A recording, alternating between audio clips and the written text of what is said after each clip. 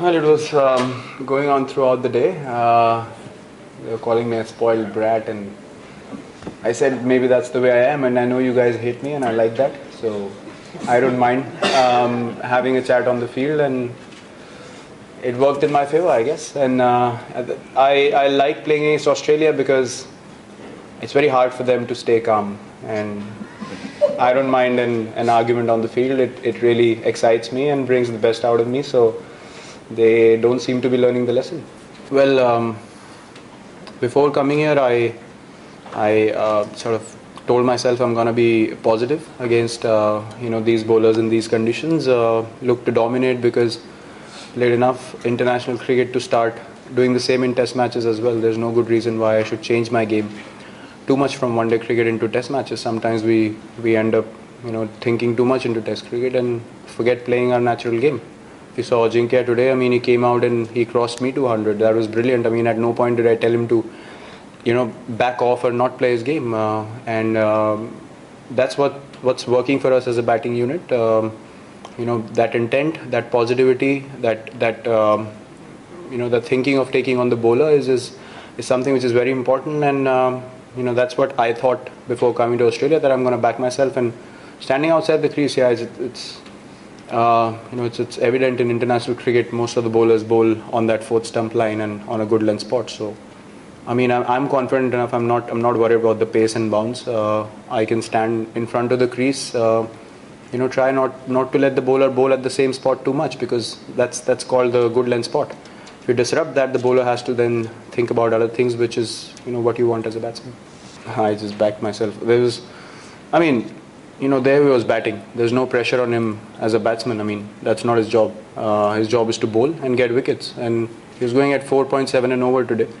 Um, didn't get a wicket throughout the day, and uh, I knew, uh, you know, I, I, backed myself that I can take him on even if I keep talking to him. I mean, that's important. You can't then back off, you know, after saying a few words and then not show it with with your skill. Um, so I decided, I mean, whenever he comes on to bowl, I'm gonna, um, you know, back myself and take him on as well, and I don't mind uh, giving a word back. Um, uh, neither does he, so kept going on, which is fine, I guess.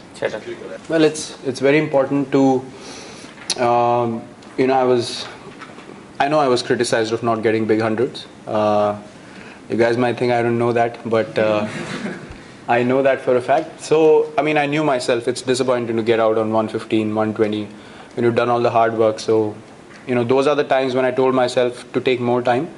Just just see through with singles and the odd boundary in between. So, uh, today I got a good feel of, of, you know, building up big hundreds. So did Jinx, which is which is great for the team. Uh, if we get big partnerships, uh, we give ourselves more chances of, of being in the game, uh, you know, wherever we play. So, I think it's all about correcting your mistakes and try to learn from every innings that you play, be it a 100 as well.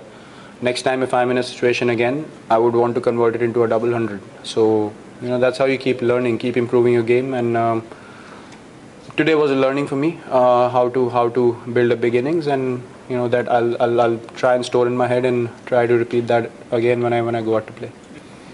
Not really. I mean, um, you can't really do that in Test cricket because you don't know how long you're going to bat for. So you know, instinctively I was I was being positive from ball one. Uh, milestones really um, were not the criteria for me. When you get close to them, obviously you want to get past them. But um, yeah, I mean, more or less we, we speak about you know five or seven run targets when we build a big partnership. For example, if you're at 240, you want to go to 245. From there, 250. So that's that's when you're you're not focusing on your personal score you're doing it for the team. Uh, you're chasing small targets out there in the middle during a partnership. So I mean, those are those sort of things help. But I, I don't think in a test match, unless you're chasing uh, in the fourth innings, you can really break down your innings properly. You just got to bat, um, you know, the way the ball is coming to you, and, and uh, play on the merit of the ball. Yeah, um, that was the that was the idea. I mean, as I said, uh, that that good length spot is uh, on the fourth stump. Uh, you know, just just back of length. So um, it's it's mostly to cover that. Um, you know, when you play with your bat more, um, and you know, not let the bowler see those stumps and uh, you know the ball going close past the stumps. And if you drive a few on the rise, then the bowler really doesn't know um, you know what length to bowl, which is, as I said, as a batsman you want uh, to do out there. So yeah, it's, it's worked for me till now. I mean, um, feeling really good, really comfortable with, with what I'm doing in my batting, and um, yeah, it's, it's it's it's a new thing that I tried, and it's come off, so uh, it does feel nice. I think it's very important how you react to situations. If I if I have a go at someone and I feel I don't want to get out now, that's wrong on my part. Um, you know, me talking to someone doesn't change anything when I have the bat in hand.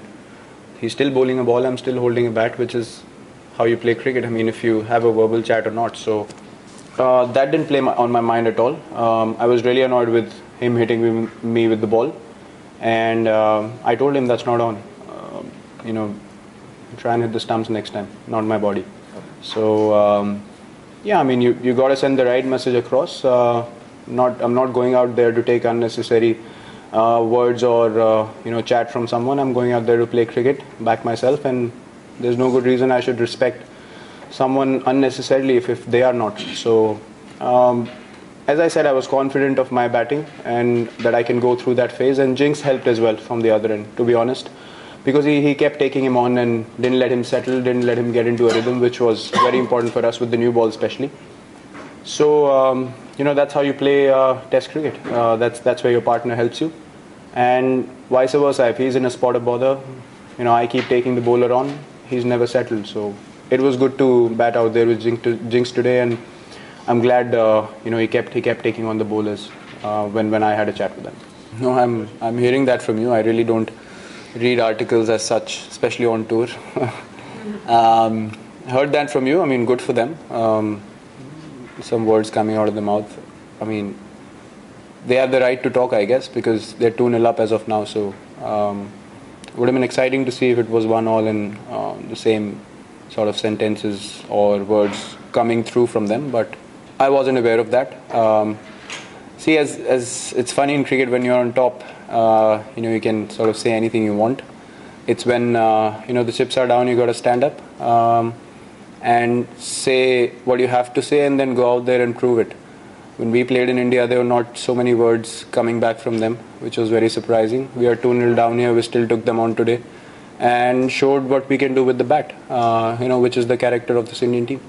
I respect quite a few of them, but someone who doesn't respect me, I've got no reason to respect him. Um, there were words in Adelaide as well uh, where they said no unnecessary respect for him. I said I don't need it. I'm out here to play cricket, not to earn anyone's respect. As long as I'm scoring runs, I'm happy with it. If you like it, you know, good. If you don't, I'm not bothered. Um, I don't really care what they think.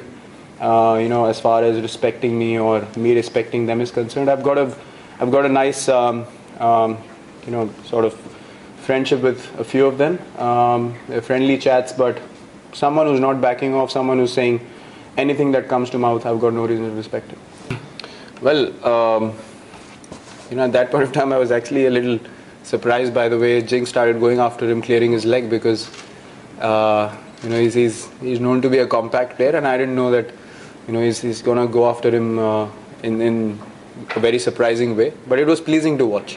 You know, a guy backing himself, uh, playing for the first time in Australia, taking a bowler on, you know, who's who's who's looking to get into rhythm, who bowls long spells for them and bowls quick, bowls good bouncers. So it was lovely to see, uh, you know, Jinx taking him on.